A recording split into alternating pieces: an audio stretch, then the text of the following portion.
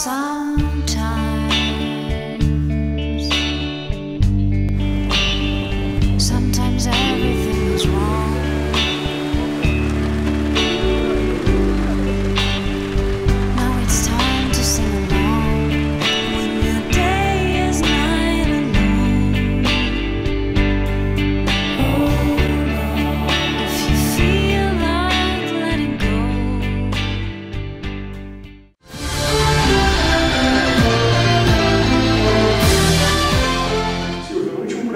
Falou sobre a crise que o Brasil passa.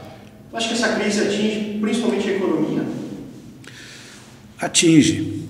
Porque, da seguinte maneira, o, nós no Brasil, nós temos um modelo de Estado, pelo menos o atual, o atual dirigentes, que tem uma visão estatizante, interventora, e isso aí implica nas, na- nas condições da economia. Por exemplo, o principal delas, a infraestrutura, que é determinante na logística, o que é que faz com que eh, estabelece os preços, a competição no mercado internacional. Então, a economia ela é muito importante. E o que, que eu vejo de positivo e de bom?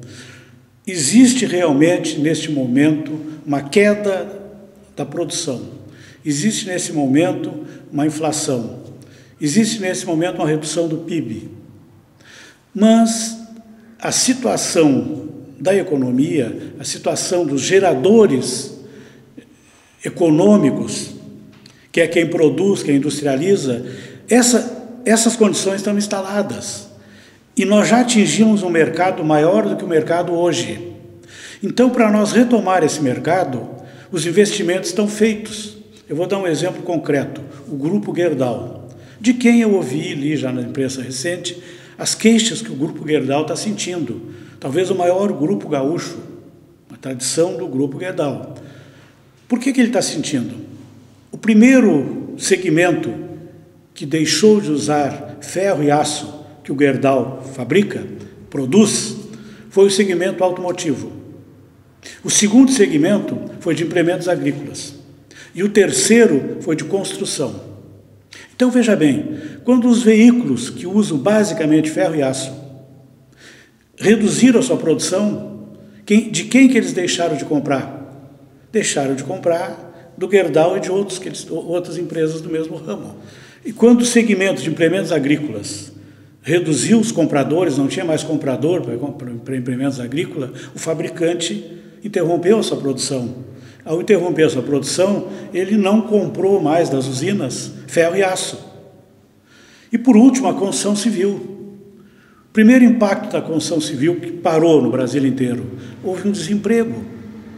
Porque a nossa construção civil, ela é ainda em grande parte com mão de obra.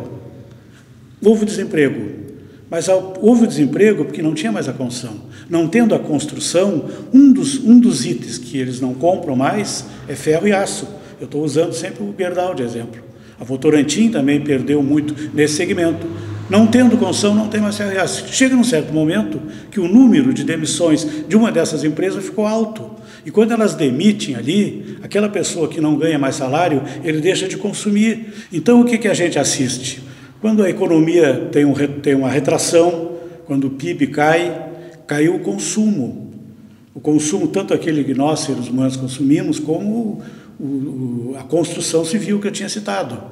Quando a construção civil reduz a sua produção, a sua construção, todos aqueles itens que são pedidos quase que no dia do- da utilização dele lá, são suspensos. Ela não compra mais cimento, não compra tijolo, não compra cerâmica, não compra ferro, não compra aço. Ao a, a construção civil parar de comprar, ela já desempregou a mão de obra da construção civil. Quando a, a- a mão de obra foi desem...